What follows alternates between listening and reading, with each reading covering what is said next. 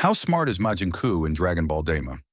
Not only is Majin Kuu created to be stronger and more loyal than Buu was, he may have also another characteristic that makes him a step up from his predecessor, intelligence. Majin Buu is known for being an airhead, and it only gets worse when he becomes Kid Buu. While Good Buu does show signs of intelligence despite his broken speech, Kid Buu can barely speak at all, and only seems to act on an instinctive urge for mayhem.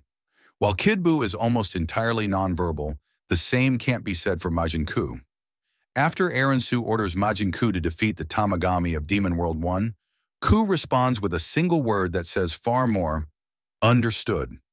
Majin Kuu's first act in Daima is simply to respond to Arinsu with a single word.